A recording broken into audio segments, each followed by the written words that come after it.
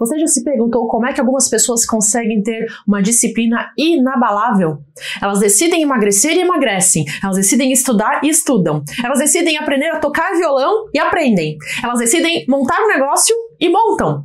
Enquanto elas têm disciplina para isso, Outras pessoas sentem preguiça até de assistir a um vídeo que fale sobre como ter mais disciplina. Aliás, você está de parabéns por ter clicado nesse vídeo aqui. Se você quiser fazer algo ou alcançar qualquer coisa na sua vida, você precisa de disciplina. Basta pensar que tudo que nós temos hoje em termos de inovação em qualquer área, nós temos graças a indivíduos que enfrentaram a procrastinação e tiveram foco para ir até o fim. Quando Albert Einstein, Nikola Tesla ou Thomas Edison estavam se debruçando sobre seus projetos, eles possivelmente não se sentiam motivados todos os dias, mas seguiam em frente por terem um forte direcionamento para encontrar soluções para os problemas que eles queriam resolver. Não há vontade que não possa se tornar realidade se nós não tivermos disciplina, que é simplesmente ir lá e fazer o que deve ser feito, mesmo sem vontade. Aquele que não fizer contato com a dor da disciplina,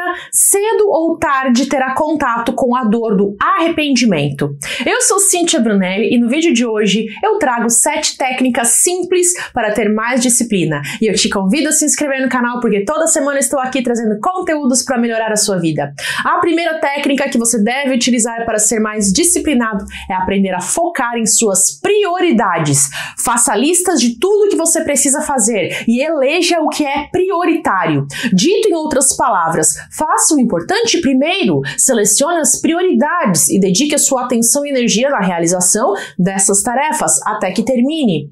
No livro A Única Coisa, é citada várias vezes uma frase que resume o que você deve fazer, que é a seguinte: qual é a única coisa que você pode fazer de modo a tornar o restante mais fácil ou até mesmo desnecessário. Aqui é possível também se lembrar do princípio de Pareto, que diz que 80% dos seus resultados vêm de 20% das suas ações. Passe a observar quais são as ações que trazem melhores resultados e foque nelas. Após selecionar as prioridades, nós vamos à técnica número 2, que é ter metas claras e possíveis. Você vai pegar a sua prioridade e vai criar metas, que são objetivos crescentes para você atingir. Vamos supor que você quer passar em uma prova. Você vai pegar uma estimativa da pontuação que você precisa atingir. Você vai pegar também o tempo que você pretende alcançar alcançar isso. Lembrando que devem ser metas possíveis. E aí você vai dividir em objetivos. Por exemplo, você pode ter metas semanais para o número de questões resolvidas, e dessas questões você deve ter uma nota mínima, que vai ser uma nota maior cada semana. Assim você consegue mensurar que o seu progresso está acontecendo. Cuidado para não ter expectativas altas demais. Não queira sair do 8 direto para o 80. Tudo que é excessivo tende ao fracasso isso.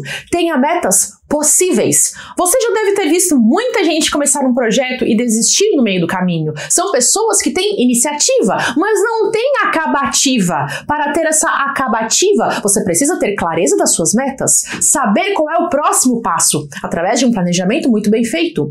Tudo isso nos leva à técnica número 3, que é fazer uma tarefa por vez. Não seja multitarefas. Ser produtivo não tem nada a ver com estar ocupado o tempo todo. Muito pelo contrário, ser produtivo produtivo é ter a disciplina de prestar toda a sua atenção na única tarefa que está sendo feita. Afinal, você é uma pessoa só. Não queira fazer várias coisas ao mesmo tempo. Ao realizar uma tarefa por vez, você vai se tornar mais produtivo e você vai conseguir perceber a sua própria evolução.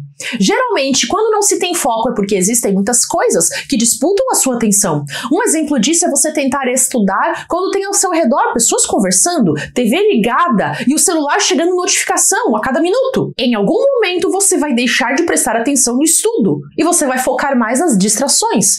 O que nos leva aqui à técnica número 4, que é eliminar ou ao menos diminuir as distrações. Você deve criar uma barreira de proteção, criando ou procurando um ambiente favorável para sua concentração. Desligue a TV e deixe o celular no silencioso ou com as notificações desabilitadas. Vamos supor que você quer estudar para uma prova, mas a sua casa é muito barulhenta.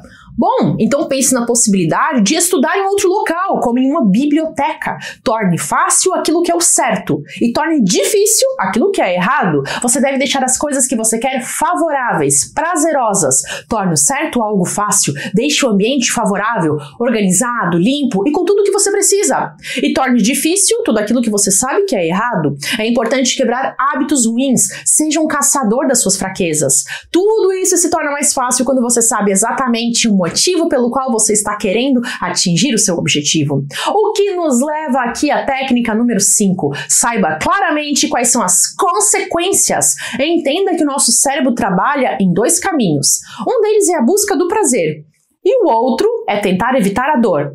Vamos a um exemplo. Você está iniciando uma nova dieta e de repente você ganha uma caixa de chocolates. Aqui o seu cérebro começa uma batalha. Ou você busca o prazer comendo chocolates, ou você evita a dor de ver as suas roupas apertadas porque você engordou. Ou aqui no caso do estudante. Imagine que ele precisa estudar para uma prova, mas ele está louco de vontade de assistir uma série no Netflix. Ele precisa escolher entre buscar o prazer da Netflix ou evitar a dor da reprovação no exame. Por isso é importante que as consequências estejam claras para você e que você saiba a importância e o significado daquilo na sua vida. Isso vai te ajudar a ser mais firme nas suas decisões e dizer não quando for preciso. Nietzsche tem uma frase que é mais ou menos assim: quem tem um porquê pode suportar quase qualquer como.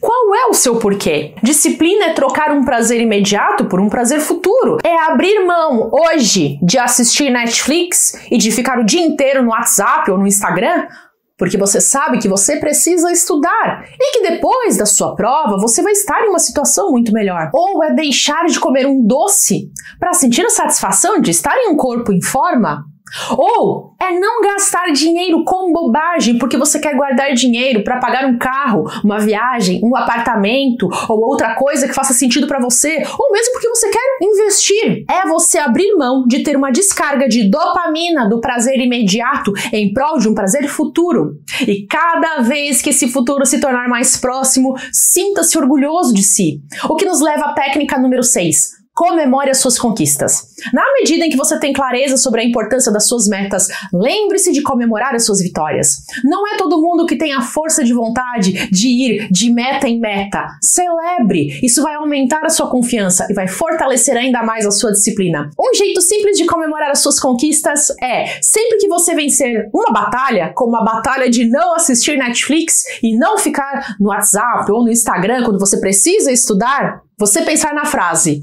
Hoje eu tô de parabéns. Parabenize-se quando você resistir a alguma tentação. Isso vai te ajudar a manter o foco naquilo pelo qual você está batalhando. E se algum dia você ceder à tentação, perdoe-se. Quando você não puder cumprir a sua palavra, perdoe a si mesmo. Nesse momento, nós vamos para a técnica número 7, que é Lembrar-se de que você não é uma máquina. Você é um ser humano, sujeito a falhas e erros. Você é imperfeito, assim como todos nós. Aqui eu vou trazer uma filosofia que eu gosto muito, que é a dos alcoólicos anônimos. Lá, os membros seguem a ideia de viver um dia de cada vez que é também chamada de plano das 24 horas. Em vez de fazer uma promessa grandiosa de que nunca mais irão beber, eles buscam focar nas próximas 24 horas. Eles fazem todo o empenho para se manterem sóbrios por apenas 24 horas. E caso aconteça uma recaída, eles dizem que ninguém está livre de um tropeço e que o que importa é novamente focar nas próximas 24 horas é esquecer o que não deu certo ontem, porque hoje é um novo dia. Se algum dia você não conseguir manter a sua disciplina, perdoe-se, você não é uma máquina. Você é imperfeito, assim como todos nós. Seja qual for a meta que você pretende atingir, você pode adotar essa filosofia dos alcoólicos anônimos. Busque realizar um objetivo pelas próximas 24 horas. E se hoje você não conseguir, tudo bem. Amanhã você vai ter novas 24 horas. Com paciência e persistência, você vai estar fazendo o melhor que você pode com as condições que você tem. Dia após dia, você vai fortalecendo o músculo da disciplina. E você vai entendendo que a disciplina não aprisiona, pelo contrário, contrário, ela liberta. Ela te liberta da miséria, da ignorância, de destruir a sua própria saúde e de se sentir escravo de ímpetos que depois te fazem mal. Disciplina é liberdade, já dizia o Renato Russo. E nas palavras de Abraham Lincoln, o autorrespeito é a raiz da disciplina. A noção de dignidade cresce com a habilidade de dizer não a si mesmo. Se você chegou até aqui, Deixe o seu comentário com a frase: Pelas próximas 24 horas eu vou ter disciplina para e coloque aquilo que você se compromete a fazer ao longo dessas 24 horas que estão vindo. Qual é o passo que você vai dar? Qual é o objetivo que você vai cumprir? Lembre que a meta deve ser possível. Te convido novamente a se inscrever no canal e também para assistir a mais vídeos que estão aqui. Tenho dezenas de vídeos com dicas sobre produtividade, motivação, disciplina, foco e muitos outros assuntos que podem fazer a diferença para você ter uma evolução muito mais rápida, seja qual for a sua meta. Quero também aproveitar para agradecer muito aos alunos alunos do treinamento Mestres do Universo. Vocês sempre comentam nos vídeos que estão gostando do treinamento e isso me deixa muito feliz e agradecida. Obrigada por confiar em mim. Meu objetivo é ajudar vocês a melhorarem as suas vidas e saber que eu estou conseguindo fazer isso é algo que aquece meu coração. Obrigada por me deixarem fazer parte dessa mudança incrível. Vocês são demais. E não deixe de assistir a mais vídeos aqui do canal. Tem muita coisa legal que pode ajudar você. Vou deixar o link com uma lista de vídeos grátis aqui do canal para você assistir e aprender mais sobre como você pode usar o poder da sua mente. Até!